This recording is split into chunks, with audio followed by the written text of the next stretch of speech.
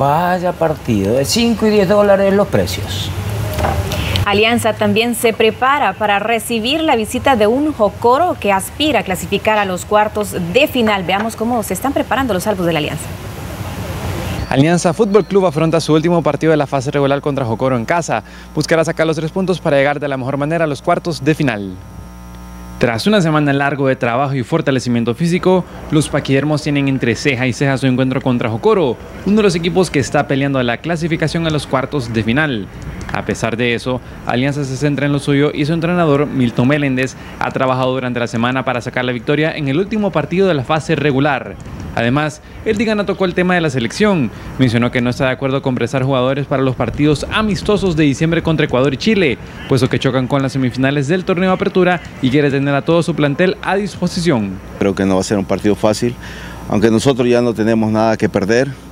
Eh, tenemos los suficientes puntos para que no nos alcance, pero igual, eh, como le digo a los muchachos, siempre es un juego por, por mantener siempre la racha de nosotros, de entrar bien a la, a, la, fase de clasificación. Creo que ahorita pues todos están para este partido, ¿verdad? Excepto Rodolfo que eh, tuvo que salir del país y regresa el día de ahora, que posiblemente no pueda estar mañana.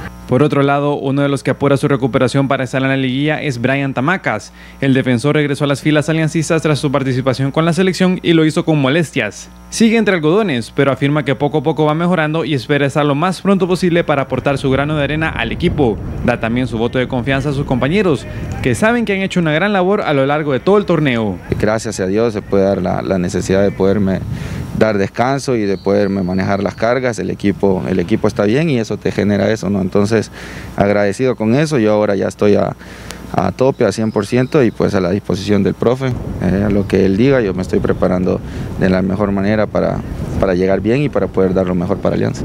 La buena noticia es que Jonathan Jiménez ya finalizó su periodo de recuperación, tuvo minutos en los partidos de la semana pasada contra Santa Tecla y Águila y amonta para ser titular contra Jocoro. Sabe que el liderato ya está afianzado y les da cierta tranquilidad para el último cotejo, pero encara el encuentro con la mentalidad que los caracteriza, buscando tres puntos y cerrar el torneo con una victoria. Sabemos que la fase regular termina el día de mañana y nos hemos preparado de la mejor manera para encarar ese partido contra Jocoro, que sabemos que, no va a ser nada fácil y, y nosotros jugamos en casa y queremos terminar con, con una victoria, primeramente Dios, pero hay que luchar primero 90 minutos para poder lograrlo. Alianza se declara listo para medirse contra Jocoro en el marco de la jornada número 22. Tratará de cerrar con una victoria y encarar de la mejor manera la liguilla en esta fase final del torneo Apertura 2021. Para DC4, Chumingo Chávez.